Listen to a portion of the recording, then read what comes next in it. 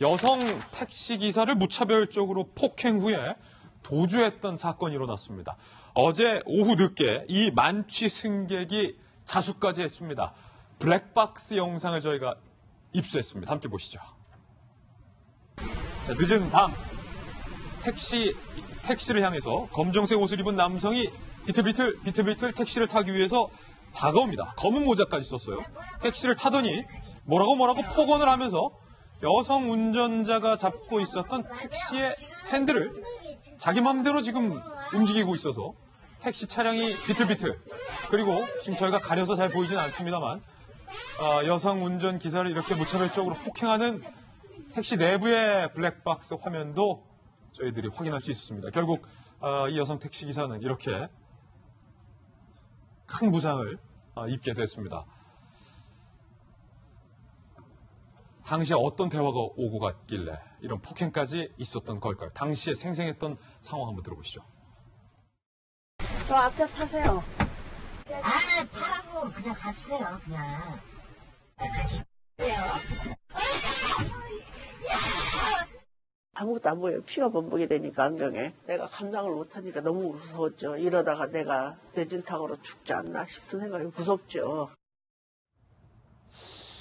아, 백진자님 이거 네. 도대체 어떤 사건인지 취재 보셨죠? 뭐 어떻게 네. 된 겁니까 이거? 음, 사실 그 일요일이었죠, 어제가. 음. 근데 전날부터 아마 선후배들하고 모여서 술을 3차, 4차 마신 것 같아요. 이 때린 범이? 네, 취재를 해보니까. 예. 남한경 경찰서 이혜원 팀장 쪽에서 수사를 했는데요.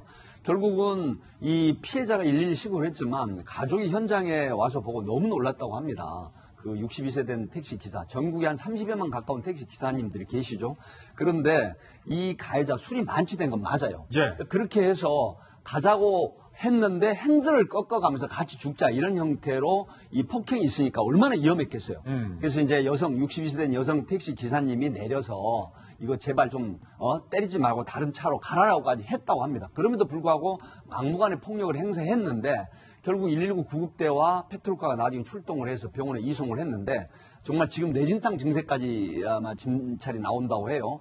그런데 이 사람은 그대로 도주를 해서 잠을 실컷 잤어요. 예. 그리고 오후에 기억이 어렴풋하다고 이제 경찰에서 진술은 그렇게 했다고 합니다. 그런데 이미 신고를 받은 경찰이 에, CCTV하고 블랙박스를 추적을 해서 그 남양주 시내 거주하는 분이에요. 이분이 41세 된 분인데 41세. 네, 결국은 집안에 에, 계단까지 올라가는 상황인데 전화가 와서 자수를 하겠다라고 했다고 합니다. 뭐 이게 지금 자수로 받아들여질지 안 될지는 모르겠지만은 음. 어쨌든 압박을 받는 상태에서 자진 출석을 하겠다라는 그런 통보를 해서 지금 아. 일자 조사를 받고 경찰이 이미 특정하고 그렇습니다. 이분이 사는 집 계단까지 갔는데 네. 그때 돼서야 나 자수하겠다고 네, 했다. 무려 새벽 4시 반인데 저녁 16시간이 어. 지난 이후에 이제 자수를 하겠다라고 해서 이제 조사가 됐는데 일단은 이게 특가법 운전자 운전 중이거나 운전에 업에 종사하는 사람이 운전 중일 때 폭력을 행사하거나 상해를 입히면 우리 변한봉 게- 변호사- 변호사님 계시지만 사실 3년 이상의 유기징역이 처해지는 중한 예. 처벌을 받아요. 막 이런 부분을 어, 여기저기 막 의논을 하지 않았을까 싶은 그런 추론도 좀 가능할 것 같습니다. 그렇군요. 이게 과연 자수로 볼 수 있는지에 대한 이야기는 잠시 후에 또 변한문 변호사님과 이야기 나눠보겠습니다만 이분이 좀 취재를 해보니까 아, 전과가 일단 없고 어, 만취를 했고 네. 한 회사에 20년 가까이 근속을 했다. 그 회사에서도 문제 생활을 일으키는 적이 없었다. 라는 것만 보면 참 뭐 나름 근면 성실하다. 네, 이게 취재가 수첩이기 때문에 또 취재를 좀 디테일하게 했습니다. 예. 이분이 미혼입니다. 미혼이고. 41세임에도 불구하고 미혼이고 그 남양주 시내 아파트 사는 분인데 어, 한 의료기관, 대형 의료기관의 특수부서에 근무하는 분이에요. 예. 근데 범죄 경력이 전혀 없었단 말이죠. 일선에서 보면은 경험칙상 보면은 전문직 종사자 같은 분들이 술이 취하게 되면 평소에 굉장히 젠틀하거나 하는 그런 부분 때문에 예. 정말 술이 되면 원색적인 그런 심리가 나와요. 그러니까 어. 그 스트레스를 푸는 게 나오는데 결국 이런 스트레스 푸는 방법이 차라리 길가에 가면 우리 주먹으로 치면 돈 놓고 치면은 올라와서 치는 그런 거 있잖아요. 펀치 기계. 예, 펀치 기계 거기다가 스트레스 풀든가 해야지. 왜 정말 밤을 지새가면서 근무를 하시는 이런 특히 여성 택시 기사분에게 막무가내로 폭력을 행사를 합니까? 이거 제가 볼 때 지금 사전 구속영장 처음으로 하겠다고 하는 방침이 정해졌어요. 경찰은 강하게 가는군요. 하기 때문에 이분뿐만이 아니라 가족들 특히 택시 기사 전국이 30여만 명의 택시 가족분들은 굉장히 가슴 아픈 사건이다. 그렇죠. 싶어서 이런 일이 일어나면 절대 안 되겠습니다. 예.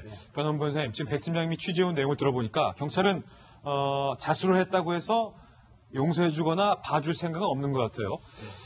경찰이 들이닥치기 직전에 자수를 했다. 이게 법적으로 자수가 뭐 감형에 인정이 되는 겁니까? 판례상 보면 그래도 이제 법정은 자수로 볼 수 있는데 자수를 했다고 해서 무조건 범죄를 어, 형을 면제하거나 감경을 하는 건 아닙니다. 예. 판사의 영역에 들어가는데 판사의 입장에서 볼 때 이 사람이 정말 자수를 한 게 자신의 범죄를 뉘우치고 그에 따른 처벌을 달게 받겠다라는 진지한 의사로 자수한 것인지를 보게 될 것이거든요. 그럼 결국 그 여부는 피해자가 어느 정도 합의를 했느냐를 아마 보게 될 것 같습니다. 지금 백진의 말씀으로는 경찰에서는 이 정도 중한 사안이라면 특가법 3년 이상의 징역에 해당하는 사안이고 피해자가 저 정도면 최하 전치의 3, 4주 정도 되는 큰 아유, 상해로 보이거든요. 그러니까요. 그러면 이제 아마 사전 구속영장을 검토할 것 같은데 지금 이제 그 달리 이제 전과가 없었고 만취에 따른 사정을 고려한다라면 최대한 빠른 시간 내에 피해자에게 진지하게 사과를 해서 합의를 한다라면 사전 구속영장은 나갈 수는 있겠죠. 예. 근데 그것이 아니라 그냥 술에 취해서 기억이 안 난다, 선처를 바란다 그렇게 회피한다면 구속영장과 중형은 피할 수 없을 것 같습니다. 예, 지금 기억이 안 난다 라는 말로는